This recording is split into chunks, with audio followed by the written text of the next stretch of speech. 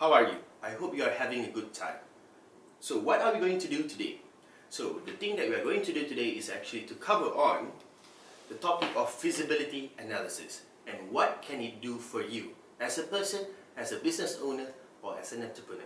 So when you want to talk about feasibility analysis, it's about trying to evaluate your business idea before you actually commit to something in terms of services or product. So why do you create or do feasibility analysis? The first thing is actually to evaluate, like I said, and to see earlier on whether the business idea can work for you or for your business venture. And the reason behind this is actually to reduce the amount of resources that you use in order to test this product or to actually bring this product out into the market. Because why? If, for example, you create a product and you think that that product actually is the thing that people want without a feasibility analysis, and then along the way you spend a lot of resources on it, what happens? You have wasted your resources if that product is not successful at all. So, feasibility analysis is all about making sure that you do the right thing before you commit to something in terms of product or services. So, there are multiple forms of feasible feasibility analysis. The first one is product or service feasibility. What does it mean?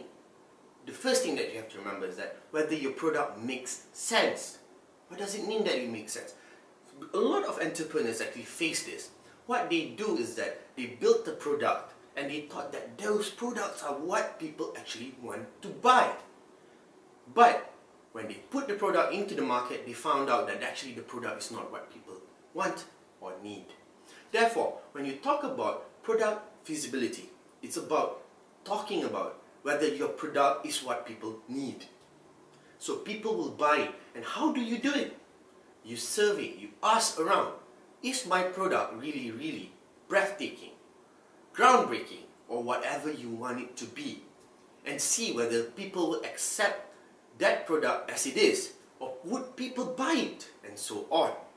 That's why product feasibility is a very first important step that you should do. That's why you do gumshoe investigating. Or what you can call it is gumshoe research. You investigate, you ask around, you ask people, your father, your mother, your friends. Or you can do an online survey regarding what do people do? What do people want? What kind of problems are they facing? And what kind of solution can you bring with your product? If, for example, your product is not in that line, maybe you should rethink accordingly to what you are good at and make that product as a reality. Another form of feasibility analysis is actually industrial feasibility. To see whether the industry that you are entering is feasible enough for you and your business venture. Whether it can bring forth that product and ensure that your product can survive in that industry. For example, when you talk about feasibility in analysis in an industry, it's about making sure that the industry you are in is not too big enough, is good enough to be something new, but there's not a lot of big competitors that is actually there. Why? Because you have to remember, when you start an entrepreneurial venture, you are actually small. You're not that big. There are some people who starts an entrepreneurial venture big, but remember, most of you will end up it small first and to ensure that there is sustainability for your entrepreneurship venture, you must be able to at least know whether the industry or the target market that you are seeking for exists. And to ensure also at the same time the industry itself is healthy. It's not too big. For example, when you look at the smartphone market, and you notice that the smartphone market is quite of a big industry. It's quite lucrative, but it's oversaturated there are a lot of offerings out there that you can't compete with. So as an entrepreneur, should you enter the smartphone market? If you are just new, you're just someone very, very new in the market. Therefore, when you want to enter the market, you will start doing price war. And that is actually one of the steps to not have a good sustainability. Why? When you do price war, how long can you maintain such a low price in order to create more innovation? That's why before you enter market, look at the industry itself. Is there opportunity for you? Is there a gap in that market that people are not offering? Do you have the resources to enter that market? and so on. And that's why when you move on to the next feasibility, another form of feasibility, is organizational feasibility. What does it mean what by organizational feasibility?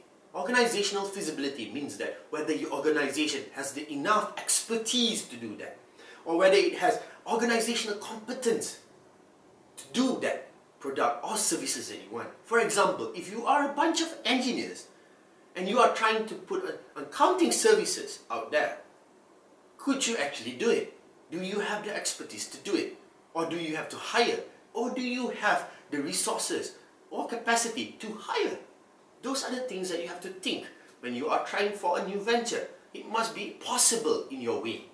Because if it's not possible in any way for you or your organization, it can collapse immediately. Why? Like I said about the engineer, if you are trying to do an accounting services and you do not know accounting at all, how, the, how would you actually implement accounting services into a part of your system or your platform? You would have confusion or your product that you actually proceed, proceed with will not be of any quality and can be a detrimental thing to your entrepreneurial venture. Therefore, when you look at everything, you notice that there is another criteria which is financial feasibility. Financial feasibility is more on the finance itself. Like I said, when you have to outsource because of your the lack of organizational feasibility, you will have to actually what? You would have to actually increase more resources. You have find more financing and so on. And in, when you look at it, can you actually get those finances? Do you have the capital to do it? Because if you don't have the capital to do it, then your product or your service is not sustainable. And this can cause more problems as you go on in the future for your company or your entrepreneurial venture. So, looking at feasibility analysis, always remember this. Look at the example of certain products where they did a feasibility, uh, feasibility analysis is questionable. Let's take an example of Microsoft Kin. Microsoft Kin was actually a good product, a good idea to be perceived and put into the market. But once it goes into the market, the competency of that product was not met at all.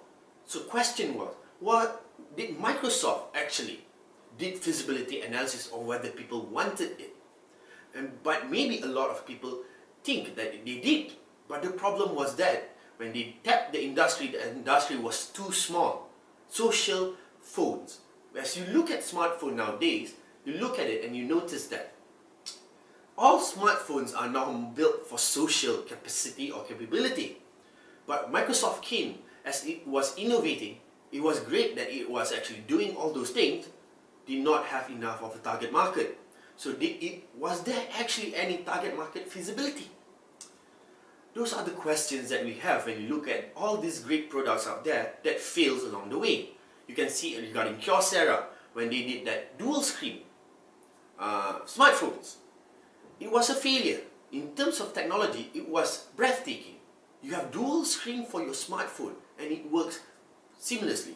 But when they actually came out to the market, people were not keen to having two screens at all. Maybe because the reason behind it, they did not test whether the product feasibility was good enough in a way that making dual screen actually increased the bulkiness of the product itself. So when you look at a lot of things, feasibility analysis is a very important core in any entrepreneurial venture as it helps a lot with making that product happen, making that service happen for you and ensure that you will not waste a lot of resources regarding it. So, I hope you have a very good evening. Um, I don't think so it's evening.